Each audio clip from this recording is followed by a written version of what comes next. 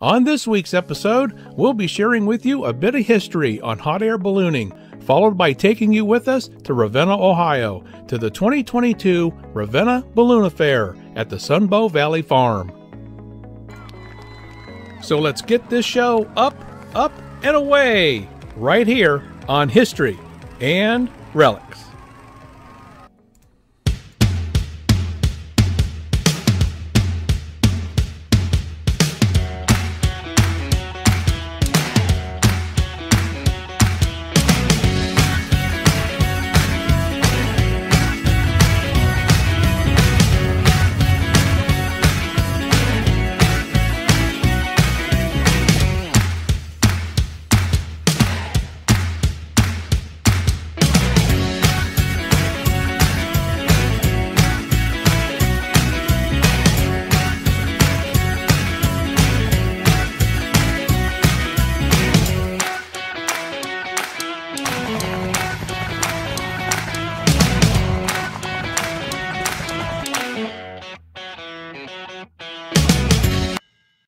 A scientist by the name of Pilatre de Rozier launched the first hot air balloon called Aerostat Reveillon on September 19, 1783. The passengers were a sheep, a duck, and a rooster. The balloon stayed in the air for a grand total of 15 minutes before crashing back to the ground. The first manned attempt came about two months later on November 21st with a balloon made by two French brothers, Joseph and Etienne Montgolfier. The balloon was launched from the center of Paris and flew for a period of about 20 minutes. Two years later, in 1785, a French balloonist, Jean Pierre Blanchard, and his American co pilot, John Jeffries, became the first to fly across the English Channel. Now, the English Channel was considered the first step to long distance ballooning, so this was a huge milestone in ballooning history.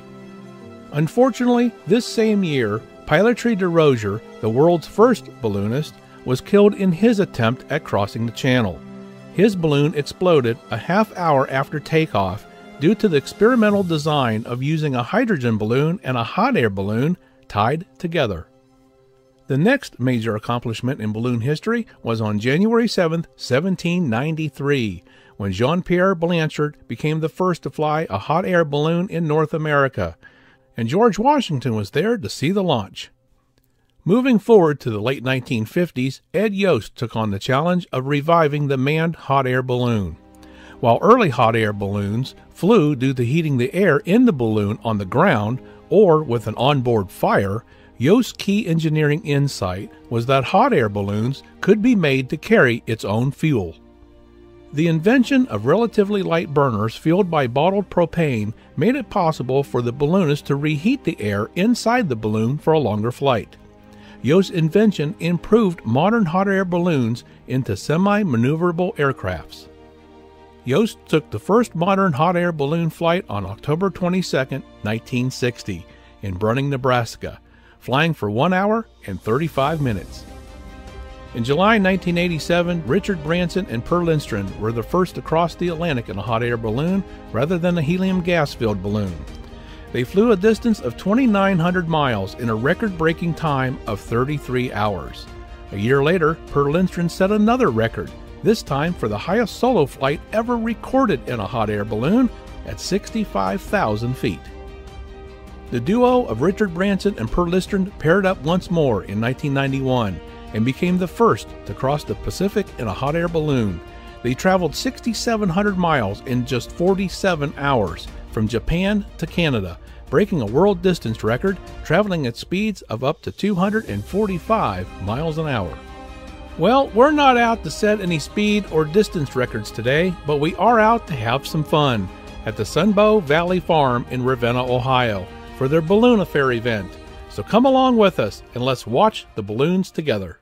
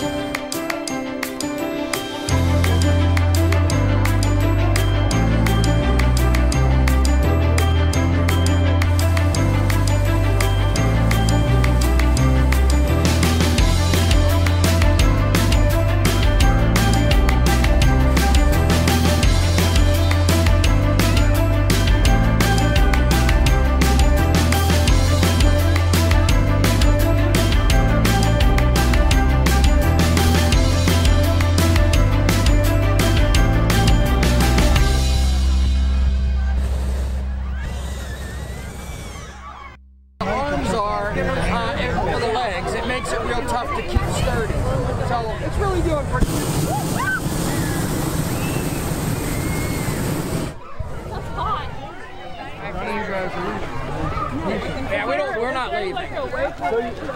Oh, there is. Yeah, yeah. You said there's no turning, so can you go up and go wherever? We just go wherever. Uh, so we take off and we go uh, uh, however far down that way.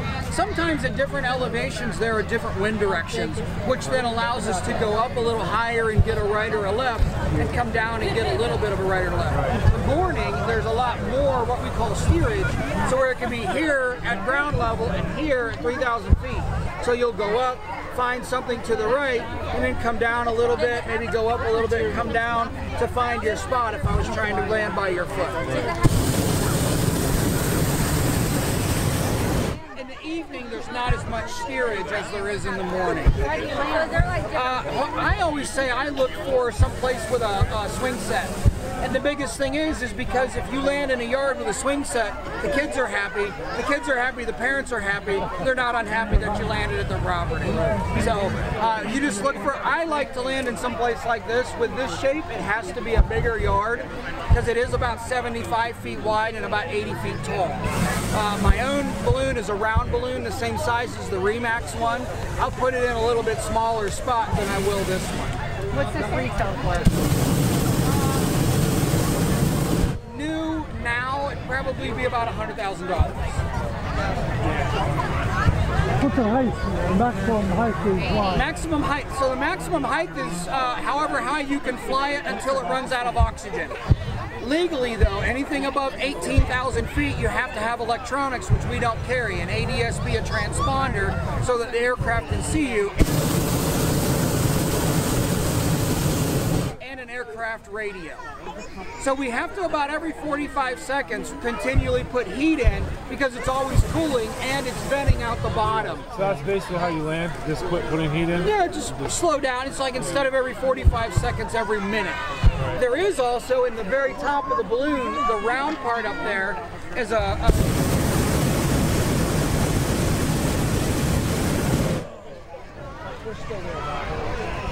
So the top, when you go to land, you can pull that uh, rope and open that a little bit to make you stop, and then to deflate the balloon, you pull that all the way out. Is it a hard landing? Um, that's the hardest part. Yeah, that's the hardest part. Is- I mean, like like fast, heavy. Oh, if you're landing fast, yeah, you need to get down in the basket and kind of hang on because you're gonna skid. But I don't, uh, I don't normally fly in conditions that aren't uh, nice. So a little, little bit of a gust here, a little bit of a gust. Yeah, this is windy. I think tonight. It's, it's, it's. This, I, even if we weren't supposed to stay here, I would not fly this in this wind. It's too windy. It needs to be like six, maybe less. Yeah. What is it today? Do you know what it is? Uh, it's about it's about eight to ten. So on the surface here, up a little higher, it's uh, up a little higher. It's a little faster. So you get up above the trees and they're doing 15. They get to a thousand feet, they're doing 20. Yeah. And so if you think about it, that balloon right there is 80 feet tall. So uh, your whatever elevation that is above the trees, which is about 100, 120 feet, that's the speed that you're going to be making your approach to come into land. It's a long. 20 miles an hour.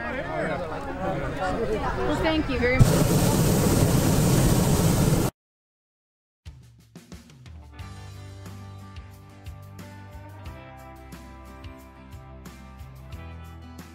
Thank you for joining us today.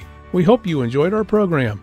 If you like our content, we ask that you give us a thumbs up, a like, share with your friends, subscribe to our channel, and ring that notification bell so you always know when our new content is published. And all of this costs nothing but means a lot to us and keeps us growing. You may also leave us a tip if you choose. The address is provided here on your screen, and a link is provided in the description area below.